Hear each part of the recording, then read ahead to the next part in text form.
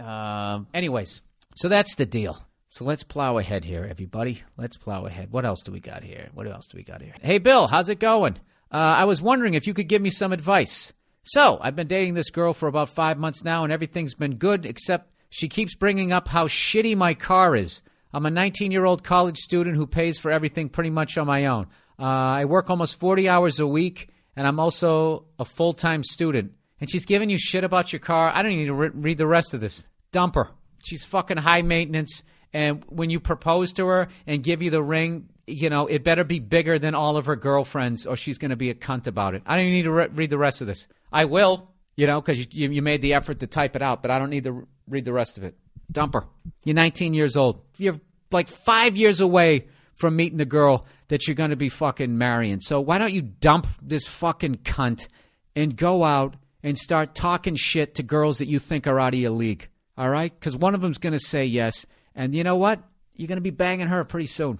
Who knows? She might not even, she, you know, dude, you know what? It's almost, you know what? As you become more successful, I would keep that car. You said it's a 92 Buick Century. I would keep that fucking car and use that as your Bronx Tale lock the door test. Girl gets in there and starts turning her nose up at it, dump her. In your early 20s, that's how I would use it. I mean, if you're driving that in your 30s, I mean, you're going to look like a fucking loser and you can't get mad if a girl's like, um, you're 35 and your car is 37. So, yeah, I don't think I like that math. Um, anyways, Bill, I had my car, a 92 Buick Century, for about something years. You forgot to put the number of years. And I've replaced many parts in the car since I've gotten it. And yeah, maybe it's not in the best shape, but it gets me from point A to point B. It's reliable and is pretty good on gas. Dude, you know what you're doing right now? You're doing what you got to do to get to the next level. You know what some douchebag does? He drops out of college to get some fucking bullshit job at UPS unloading trucks so he can go out and buy a new flashy car.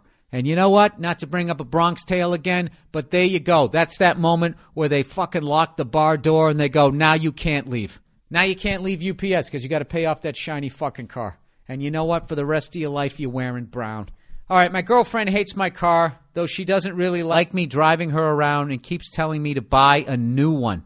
I've even heard one of her friends tell me how much she dislikes my car. Dude, you know what your next upgrade should be on this car? Uh, one T top on her side and an ejection seat in the passenger side. The next time she brings it up, I, oh my God, I hate this car. It's dirty. It's ugly. What is that red button for? I don't know. Why don't you push it, you fucking twat?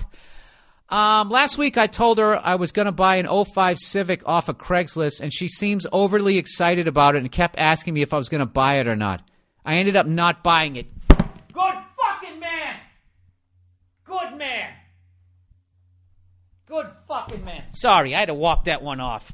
Goddamn fucking. I mean, not uh, not all women, but this bitch here, this fucking bitch right here. This girl is putting a fucking financial noose around your neck. And you know what, dude? You was strong enough not to be in that. Ooh, keep it happy, keep it happy, so it still fucks me.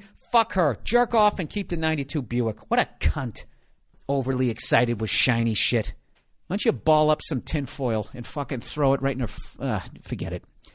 It's too mean. All right. Let's. oh, dude, you know, you know, right now, I bet a lot of women are listening. Like, why does this guy? Or maybe they're not. Maybe they understand. Why is this guy reacting like this? Because I'm gonna tell you something. There's so many fucking talented guys out there. Okay, who didn't get where the fuck they wanted to be in life because they allowed someone like this to convince them to buy a fucking 05 Civic. And then they had to stay at their fucking day job rather than being able to slowly fucking quit it and get their business going, get their band going, getting whatever the fuck they want to get going. I'm telling you, I'm telling you, this girl is a selfish fucking cunt. Get her out of your life. So, anyways, he goes, I ended up not buying it. Dude, I got to tell you something right now. That moment in your life could be like when John Lennon met Paul McCartney. Do you understand the fact that you didn't fucking do that? That is like you're in a barrel about ready to go over the fucking waterfall and you somehow saw a low lying branch. You did a fucking pull up despite the fact that no one thinks any, any American can do one in this country and you got yourself out of there. Good for you. Good for you. All right. I ended up not buying it because the guy wanted a little bit too much money for it. Oh, Jesus Christ. So you totally lucked out. So you didn't reach up and grab the branch. It accidentally caught your shirt and you sat there hanging there like a drowned rat until the fucking fireman fished you out. Either way, you didn't do it. So good for you. and I'd rather get my money's worth on something different, is what he says. So I'm trying to make a decision here because, yeah, within the next year or two, I will need a new car, but my girlfriend has been such an immature bitch about it. I never thought I would be into someone who places so much value on material bullshit like cars. And what makes people think about us when we roll up? Oh, in my car. Oh, she's worried about what people think. Dude, she doesn't worry. She's not worried about what people think of you guys when you pull up. She's worried about herself. Um, for fuck's sakes, he says. I'm going to school to be a teacher, and everyone knows they get paid in fucking peanuts. So if she's into money, perhaps I should just nip this in the butt right here. Then again, maybe she's maybe I'm just being lazy and I should go find a more respectable car. Dude, fuck that. Fuck that, dude. Dude, you know who she is right now? She's Sharon Stone in Casino. That's who the fuck she is. This chick is gonna fucking cheat on you, you know, and she's gonna leave you, dude, when you are drowning in debt and shiny shit that you didn't fucking need. Okay, and the ride is over, and none of it's in her name, and her na- her credit's fine. She's gonna go down to the bank and take out her million dollars in jewelry or whatever. She's, she's fucking walking, just like Sharon Stone. All right, kick, get get her out of your life. Get her out of your life. Just sit down and just say, listen, you're more into cars than you are me. And I just think you're really a uh, materialistic, selfish person. And uh, you're going to make someone miserable. And guess what, sweetheart? It's not going to be me. You know what? You don't even have to be that mean. Just tell her you're not happy.